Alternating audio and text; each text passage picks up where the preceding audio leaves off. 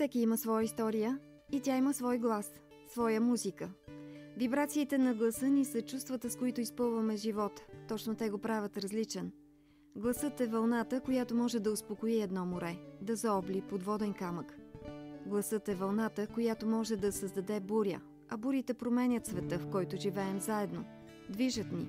В тях растем, предизвикваме се, срещаме се и се застъпваме за всичко, в което истински вярваме и което обичаме.